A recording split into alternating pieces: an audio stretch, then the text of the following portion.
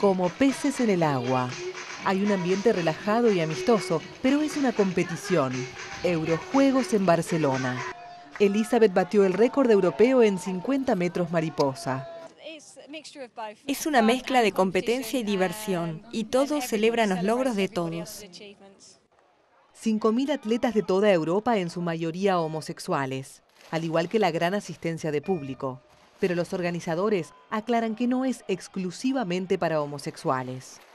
Cuando los participantes se inscriben no les preguntamos su orientación sexual, pero sabemos del cierto que hay uh, clubes de nadadores uh, y de muchos otros deportes heterosexuales, especialmente de la ciudad de Barcelona, que han querido participar.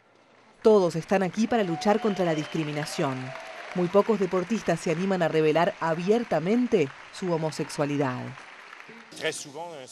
Muchas veces un deportista de alto nivel no lo confiesa por razones políticas o económicas, porque sus sponsors no van a querer que la imagen de un homosexual los represente y todo eso. Los Eurojuegos son también una oportunidad de revivir deportes como el aeróbic, el nado sincronizado masculino o el baile de salón.